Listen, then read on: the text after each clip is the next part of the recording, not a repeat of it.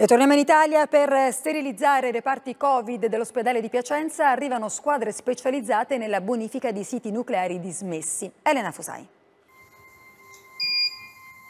15 secondi.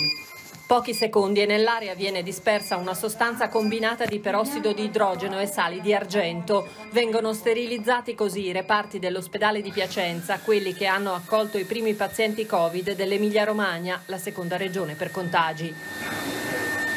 Oggi qui entrano le squadre speciali che di solito lavorano alla bonifica dei rifiuti radioattivi negli impianti nucleari dismessi. In sostanza è acqua ossigenata, si fa per poter andare in tutti quegli anfratti che potrebbero sfuggire con la precedente disinfestazione relativa al Covid.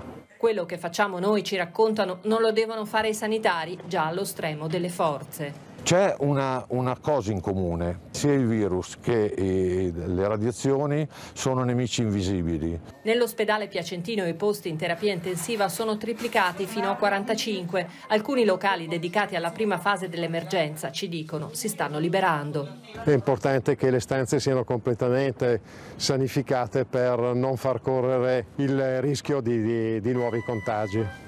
Oggi il 70% dei pazienti viene per problemi non strettamente correlati al coronavirus. L'ospedale ha attraversato una rivoluzione, ci spiegano. Adesso col virus bisogna convivere e guardare avanti.